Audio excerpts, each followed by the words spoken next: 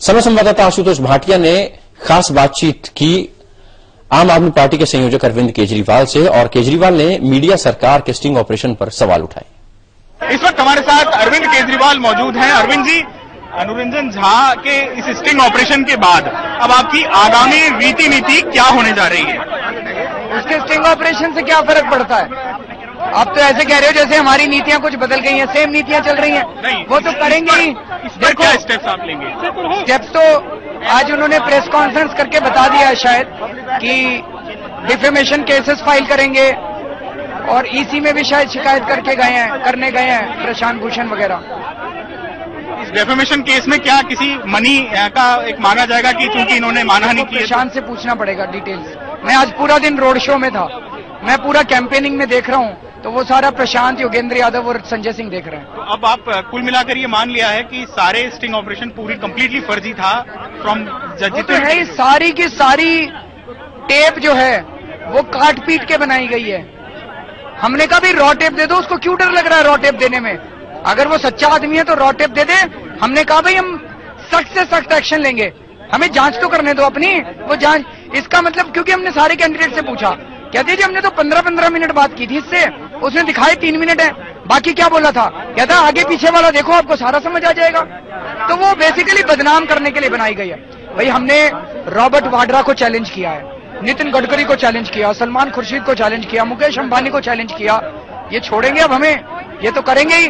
पर हमारा ऊपर वाला हमारे साथ है सच्चाई हमारे साथ है। आपने इलेक्शन कमीशन से ये कहा है कि 48 घंटे में वो भी जाँच करके बताया उस रॉ फुटेज की कि क्या, क्या कैंडिडेट्स का कोई दोष है। अब सवाल ये उठता है कि 48 घंटे में क्या इलेक्शन कमीशन किस तरह जाँच क्योंकि फोरेंसिक जाँच होती है लंबी चौड़ी चीज़ें होती हैं। तो मेरे को तो पता नहीं मैं प्रशांत से बात करूँगा।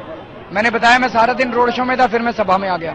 एक दूसरा मामला था अरविंद जी जब होम मिनिस्ट्री ने आपको जो 30 सवाल भेजे थे उसका क्या रिस्पॉन्ड आपने किया है? वो प्रशांत कर रहे थे भेज दिए होंगे उन्होंने। उस दिन कह रहे थे मैं भेज रहा हूँ। इसके ऊपर प्रशांत भूषण से पूछे हमारी लीगल टीम से। मेरे को ज़्यादा ही मैं तो सारा दिन जनता में रहता हूँ जी। ये जो स्टिंग ऑपरेशन है इसके पीछे कि, कि, किन लोगों की राजनीतिक साजिश आप पाते हैं? ये सारे जितने भ्रष्टाचारी हैं इस देश के सारे इकट्ठे हो गए। धर्म युद्ध है जी इस बार ये। कांग्रेस? पुण्य के खिलाफ ये सारे पापी इकट्ठे हो गए हैं। और ये हम लोगों के ऊपर हमला करेंगे। पर इसमें घबराने की बात नहीं है। जितने हमले कर रहे हैं, उतनी भीड़ और ज़्यादा बढ़ती जा रही है। जितने हमले कर रहे हैं, उतनी भीड़। आज एक सभा में भी जनता से पूछ रहे थे मैं नहीं, कुछ पत्रकार आए हुए थे। उन्होंने जनता से पूछा, जी, ये स्टिंग कराया इनका? तो जनता कह रही है, यही भ्रष्टाचारी है क्या? बाकी भ्रष्टाचारियों के स्टिंग क्यों नहीं हो रहे? तो जनता के मन में प्रश्न तो है कि भाई, इनका स्टिंग क्यों हो रहा है? ये एक पार्टी आई थी जो ईमानदार पार्टी है, सच्ची पार्टी है, इन्हीं के पीछे पड़े हैं ये लोग। तो कुछ ना कुछ तो गड़बड़ है। मैंने अरविंद जी अनुरंजन झा जी को आप, आपकी कुछ गैदरिंग्स में देखा था उनको कुमार विश्वास के घर पर भी देखा था। आखिर ऐसा हुआ क्या कि संबंधों में ऐसा कोई दुराव हुआ या उसके पीछे की कहानी क्या मैंने तो उसकी शक्ल भी नहीं देखी जी आज तक। कुमार का दोस्त था। कुमार से आज सुबह मैं बात कर रहा था। कुमार ने कहा मेरे घर आया। उसकी बीवी भी आई उसका बच्चा भी आया। मेरे पाँव छू के गए। वो बोला ताऊ जी के पाँव छुओ। और फिर उसने रिक्वेस्ट किया कि भाई मेरी एक दोस्त है और वो शो करवाना चाह रही है आप उसका कर लेना। दो दिन बाद उसने लड़की को बोला और अनुरंजन झा ने स्टिंग करा दिया। ये दोस्ती होती है। ये तो छुरा घोपने वाली बात हुई पीठ के पीछे। लेकिन फिर भी कुमार ने तो कुछ गलत नहीं बोला। कुमार ने क्या बोला है उसमें? कुमार ने कहा, कैश लेना तो इनकम टैक्स एक्ट थोड़ा सा पढ़ लें।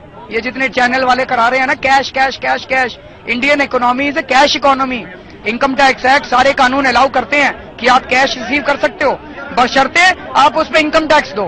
अगर आप इनकम टैक्स नहीं देते, तब गड़बड़ प्रश- वो बता रहा है मैंने इस साल नौ लाख रुपए का टैक्स दिया है। पिछले साल ग्यारह लाख रुपए का टैक्स दिया था छह महीने में इस बार नौ लाख रुपए का टैक्स दे दिया उसने। तो वो टैक्स देता है कैश का भी टैक्स देता है और चेक का भी टैक्स देता है। तो वेर इज़ द प्रॉब्लम और शाजिया इलमी की बात करें तो? शाजिया इलमी का वो भी बता रही है कि उसने बहुत लंबी बात की थी।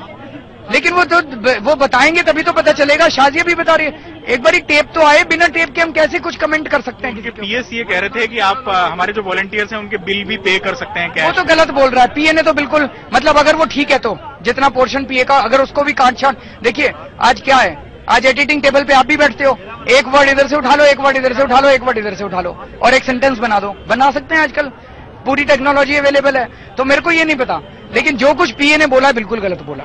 मेरा अंतिम सवाल रॉ फुटेज ना मिलने की दशा में जो कि अब तय ही है कि आपको नहीं मिला तो उस दशा में आप किसी भी सूरत में कोई एक्शन की बात अब नहीं है। कैसे करेंगे बताओ जी? जब सारा का सारा है ही फ्रॉड तो क्या एक्शन होना चाहिए उस पर उस पर एक्शन तो अनुरंजन झा पे होना चाहिए जेल भेजना चाहिए इसको ऐसा गलत, गलत काम करता है गंदा काम करता है। एक देशभक्ति के लिए लोग उठे थे उनको बदनाम कर रहा है उसके खिलाफ एक्शन होना चाहिए गद्दारी कर रहा है देश के साथ? बहुत बहुत शुक्रिया। तो साफ़ तौर पर देखा जा सकता है कि अरविंद केजरीवाल अपने सभी उम्मीदवारों को यहाँ पर क्लीन चिट दे रहे हैं। इस समय दिल्ली से कैमरामैन एस के द्विवेदी के साथ आशुतोष भाटिया।